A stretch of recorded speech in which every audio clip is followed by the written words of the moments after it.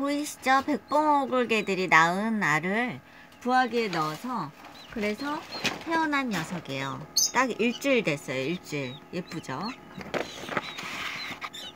보시면 오늘도 어, 백봉오골개와 청개가 알을 낳았어요. 세레마 알이고요. 그 다음에 어, 백봉오골개. 색깔이 약간 틀리죠. 그리고 청개가 낳은 알이에요.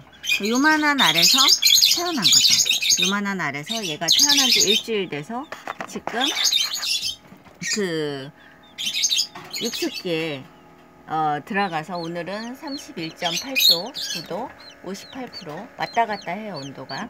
그 다음에 스탠망 어, 인터넷에서 한 5,800원인가 6,000원인가 스탠망을 사서 모이그릇 물그릇을 준 거죠.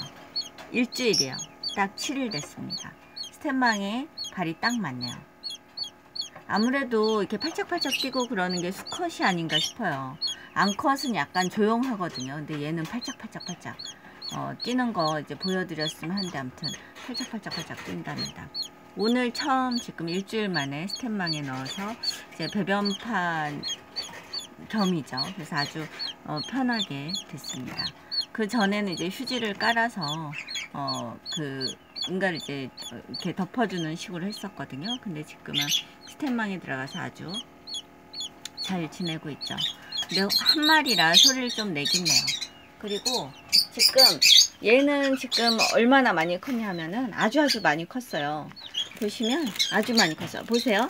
얘가 이제 두 달이 되어 가거든요. 어, 쟤처럼 이제 팔짝팔짝 뛰기도 하고 수컷인 듯해요. 제가 봤을 때 약간 수컷인 듯한데 팔짝팔짝 뛰기도 하고 그러거든요. 네, 엄청 많이 컸어요. 지금 꽁지부터 시작해서 엄청 많이 컸답니다. 신기하죠? 이렇게 변했어요. 그러니까 요만했던 녀석이 그러니까 요만했던 녀석이 저렇게 변한 거죠. 신기하죠? 얘가 일주일 어, 알에서 태어난 지 딱 일주일 백봉오골개랍니다. 아주 귀여워요. 어, 발이 일주일이면 이제 맞는 듯 해요. 그러니까 발 사이즈를 보고 넣으셔야지 아니면 이 스탠망에 걸려서 음, 문제가 좀 생기더라고요. 그러니까 발 사이즈를 보고 넣으시는 편이 좋으실 듯 합니다. 네, 감사합니다. 또 찍어서 보여드리도록 하겠습니다. 안녕하세요.